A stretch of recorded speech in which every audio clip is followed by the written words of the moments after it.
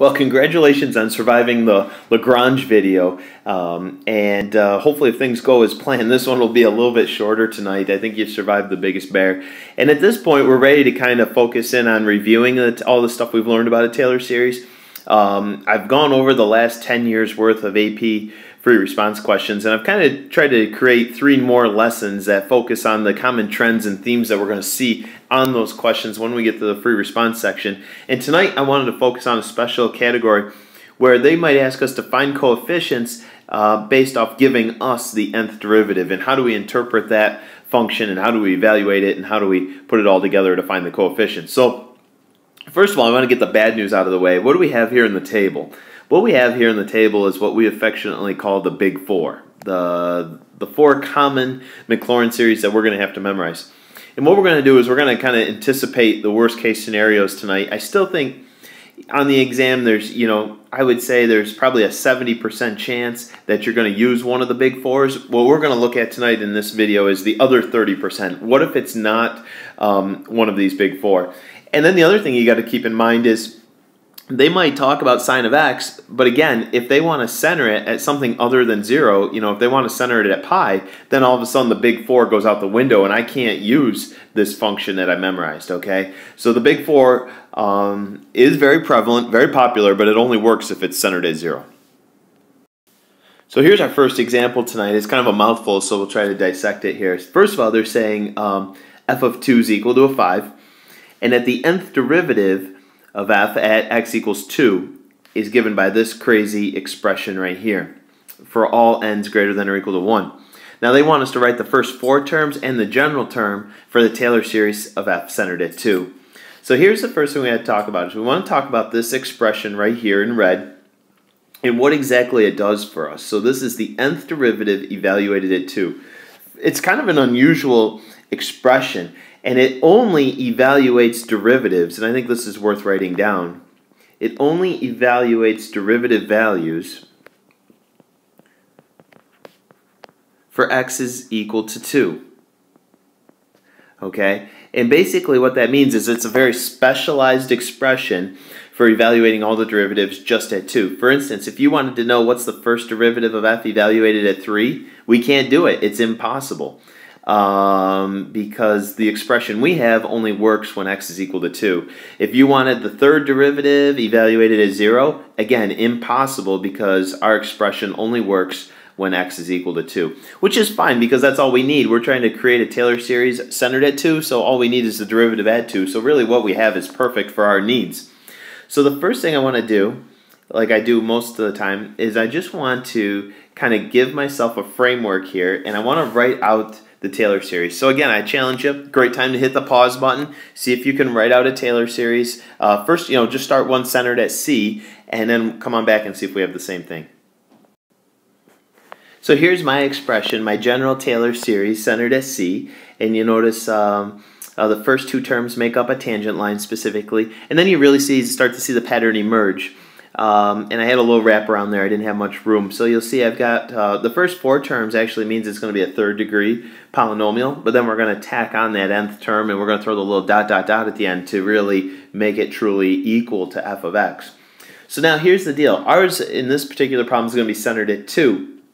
So I could imagine myself replacing all these c's with a 2 all the way across, okay? So that's easy enough. And that pretty much, you know, that does a lot of the work right then and there. Now, the only thing left to do is to calculate the value of the first derivative and the value of the second derivative and the value of the third derivative. And if I can get my hands on those values, we're pretty much going to be ready to plug everything in and put the finishing touch on this problem. So here we go. Um, I need f prime of 2 which to me indicates that the value of n is going to be a 1 because I'm looking for the first derivative which means I'm going to substitute a 1 into all of the n's in that expression they gave me. So it's going to be 1 plus 3 factorial for my numerator, and 3 raised to the first, which turns out to be 4 factorial over 3, and you're more than welcome to leave it as such for now. Now I need f double prime of 2. Now this is the second derivative, so n equals 2, which implies I'm going to substitute a 2 in for the n's, and it'll be 3 raised to the second. So I've got 5 factorial over 9 for that value. And then the last one I need to get my hands on is the third derivative, which implies n equals 3. So I'm going to substitute a 3. And let's see here, 3 to the third. So I've got 6 factorial divided by 27. So I'm going to take these three values right here and substitute them into these spots and we'll be ready to go. So why don't you try that right now. Try substituting them in. Now when I do it here, I'm not going to really simplify these coefficients at all, so feel free to leave them as complex fractions if you choose at this moment.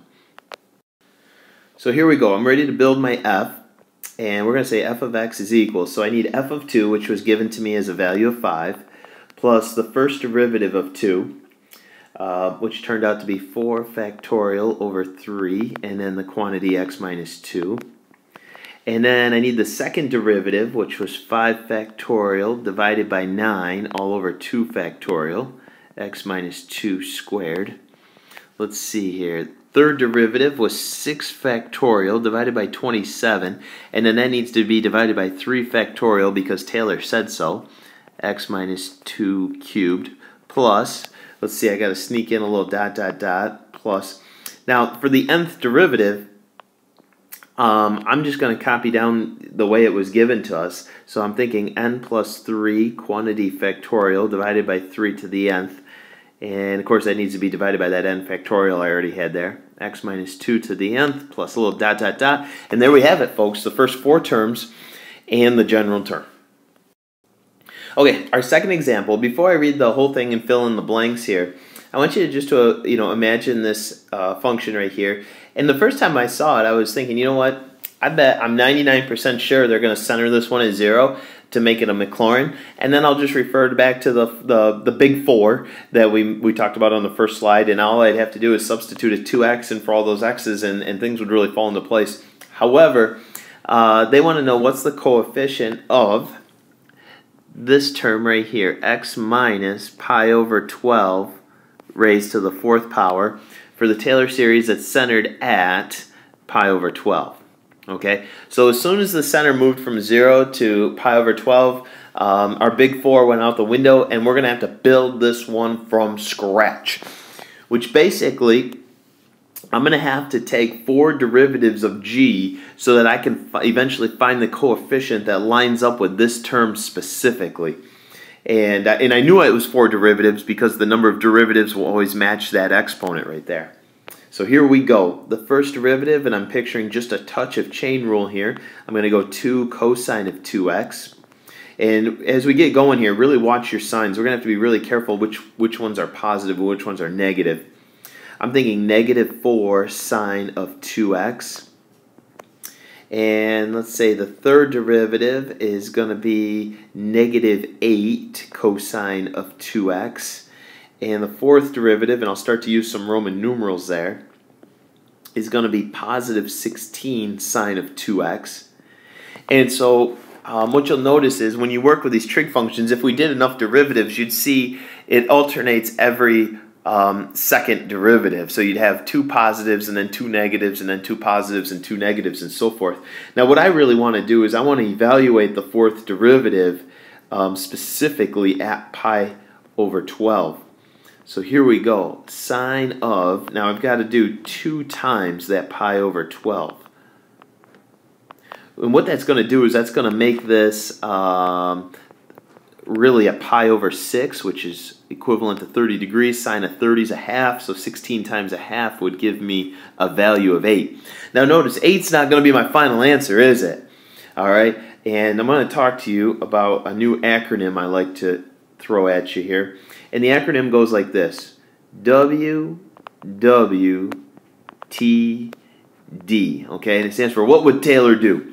what would Taylor do? And here's what Taylor would say. If you wanted that term specifically, that fourth degree term, Taylor says you're going to need the fourth derivative evaluated at pi over 12, and it's going to have to be divided by 4 factorial in order to create that term specifically. And as far as the coefficient goes, this right here is your coefficient. So I need to, and I've already calculated the numerator, which was an 8. So as long as I remember to divide that by 4 factorial, now I've created the coefficient, and this is going to be my final answer. So I hope that helps. We'll definitely get some more practice with this uh, tomorrow in class. And, and like I said, over the next few nights, we're going to focus on some specific tendencies that we've seen revealed in the AP exam over the last uh, 10 years and, and really make sure that we're current and up to date and ready to tackle these real big bears.